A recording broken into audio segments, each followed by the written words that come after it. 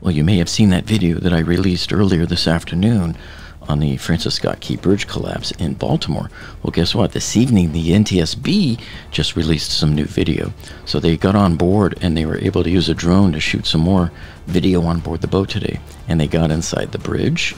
And then they also released at a press conference at 8 o'clock tonight some additional information. They got the VDR, that's the Voyage Data Recorder. And so they presented some of that to us. So I'm going to show you all of that here tonight. Okay, so here's the short video that the NTSB just released about an hour ago.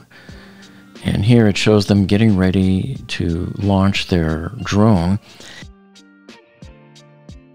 This means they will be providing us with some newer video that we have not seen yet.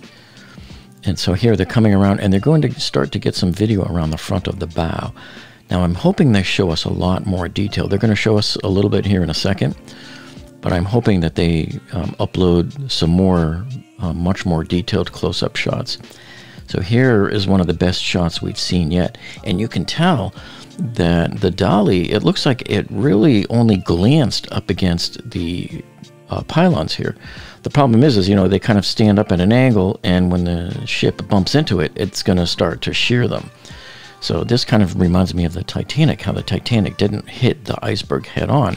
It basically just glanced it, kind of, and scraped it along the edge of it. And you can sort of see it too along the front where the stern is, of sort of where it, it looks like it might have scraped.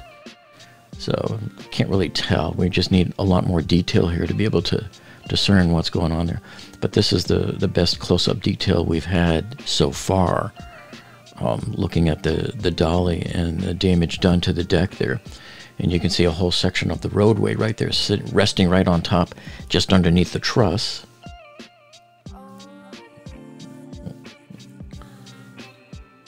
So quite a mess. This must have been one scary sight to have to witness from the bridge. And in typical NTSB style, they always show us like little portions of video that are kind of boring or a lot of nothing as I like to call it. Here they're operating the drone, so it's just showing the drone operator controlling the, the drone out in front of them over the bow.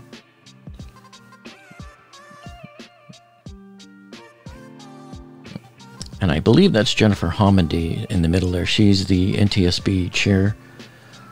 And the guy in the green helmet looks really familiar to me. I think he's one of the guys that investigated the FIU bridge collapse. I seem to recognize him from the testimony and the hearings, the public hearings.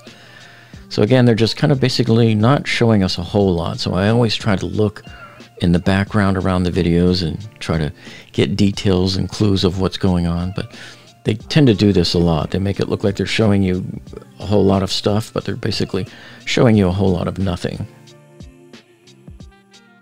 And man, this camera must have been out in the rain for a good spell there. So what an interesting view looking all the way up that continuous truss there, all the way up to the end of the bridge. See where it detached off of the pylons up there?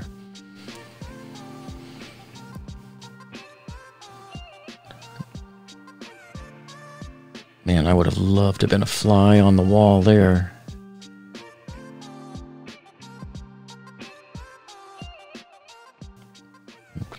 There's a section of the roadway there resting on top of the Dali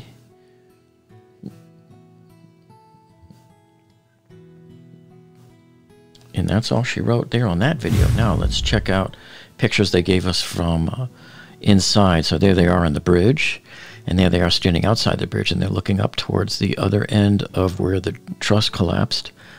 There's another photo inside the bridge, and standing out in front of the bridge, there's the Dali sign in the background. And they're just kind of congregating there, looking up that long, continuous truss that fell. Man, what a sight that must be there. How scary that must look. Another great shot inside the bridge. Finishing up with the drone on the outside of the front of the bridge.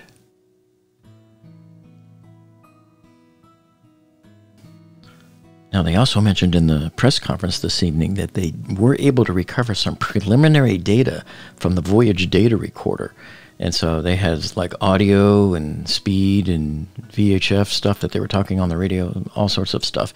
They only have the first six hours. The rest of it is in the 30 day storage and the memory that they have to go back and get later.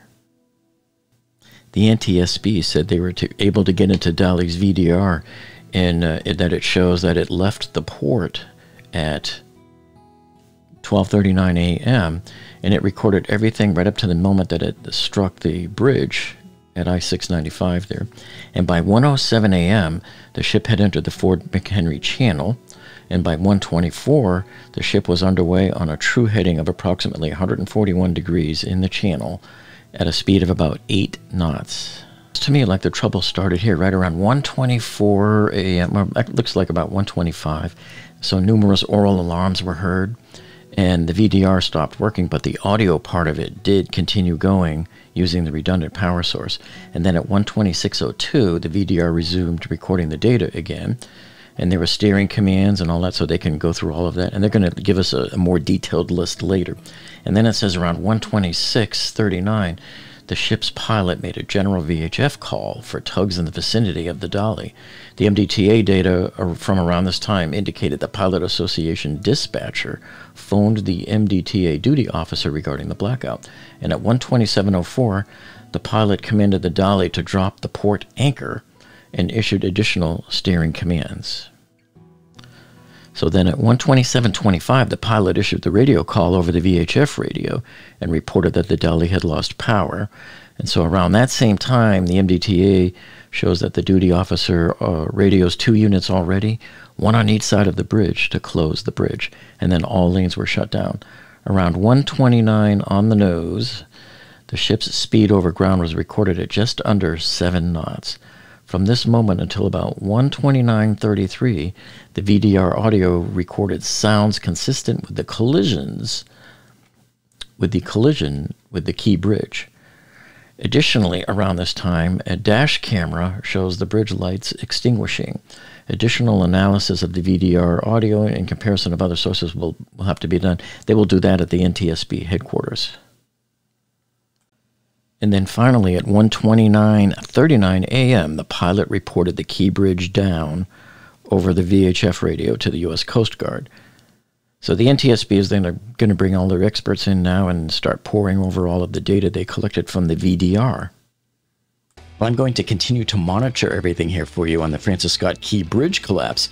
And in the meantime, you can check this video out right here, which is on the FIU bridge collapse. That was one of my best engineering videos yet. So thank you so much for tuning in again today and stay tuned for the next one and we'll see you on that next one.